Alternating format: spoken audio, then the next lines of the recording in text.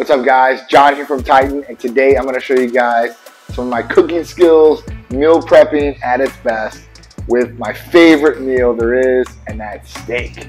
Steak is definitely one of the best meals to me anyway. Um, and you know for what you're trying to do for your body and everything that it needs. Steak is, has got a lot of great things that are packed into it that can help you day in and day out.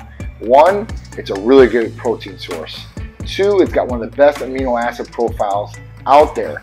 And what does that mean? So that means that it has an abundance of different amino acids in it that will help your body perform better, it'll help it work better, and ultimately get you better results all the way around, day in and day out.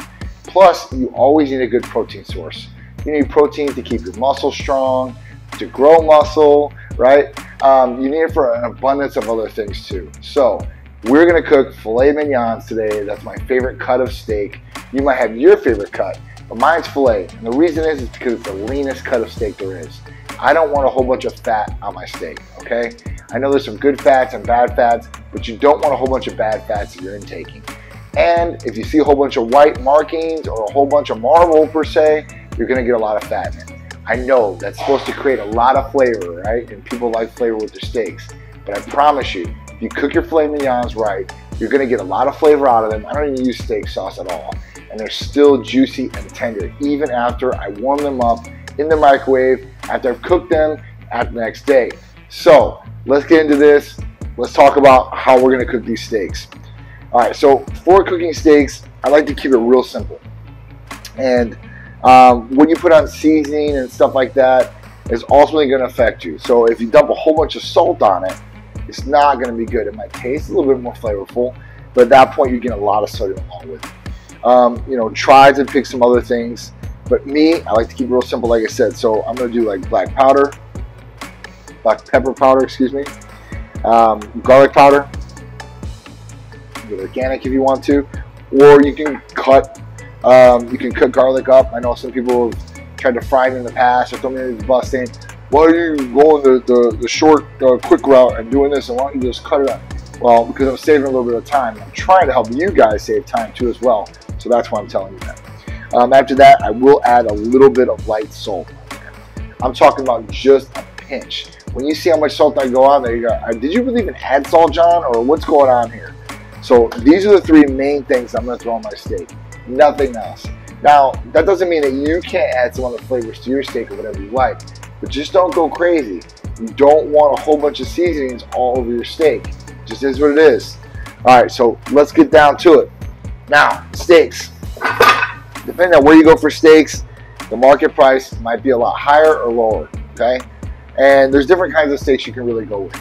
So, let's bust out these steaks. Let's see what we got here. So I get my steaks um, from a local restaurant here, um, a local steakhouse. I've just known it for a long time. And this is kind of what they look like when they come through. They're all premium wrapped, one one at a time.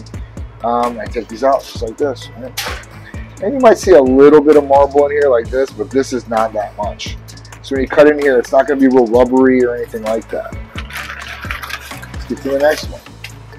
And I usually cook about 10 steaks every two to three days. Um, every day I'm eating at least two to well, four of these steaks every day. So two 12 ounce steaks every meal. So it should last me, I would say, what, two days, three days?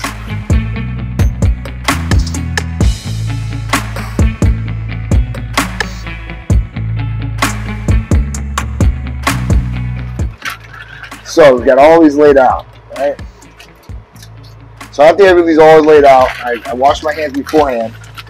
I'm touching these steaks with my hands. I got this blood on my hands. You're gonna want to wash your hands one more time.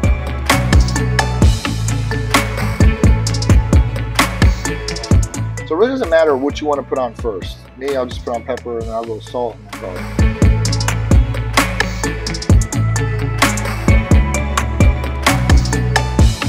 Now, I'm going to flip with one hand, and we're back to business.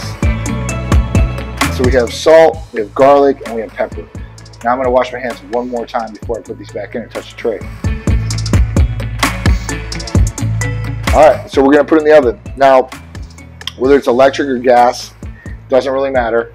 Um, before I was cooking with a lot of electric because I had that in my old house. Now I have gas. which is a really nice thing.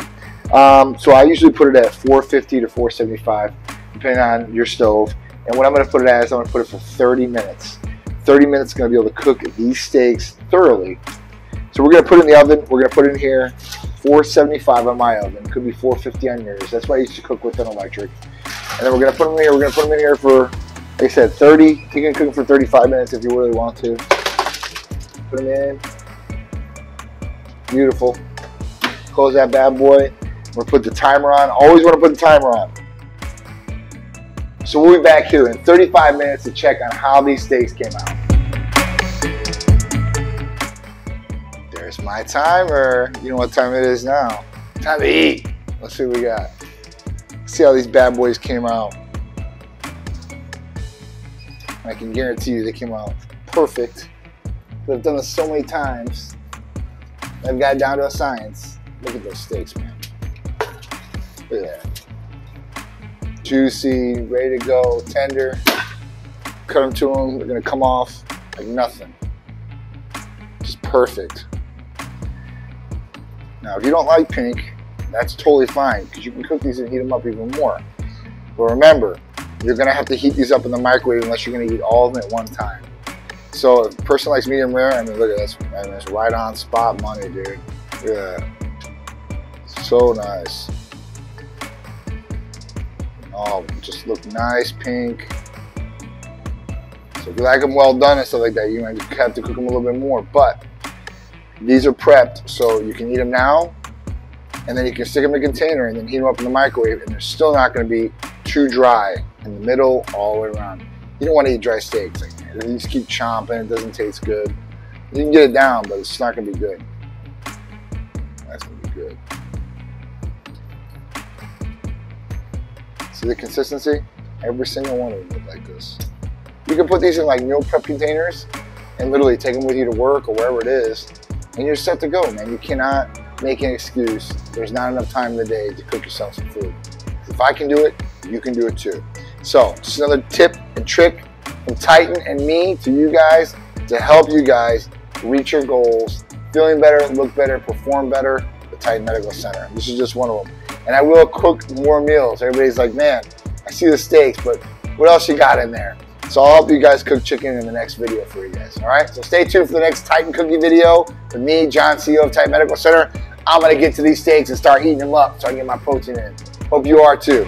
Later.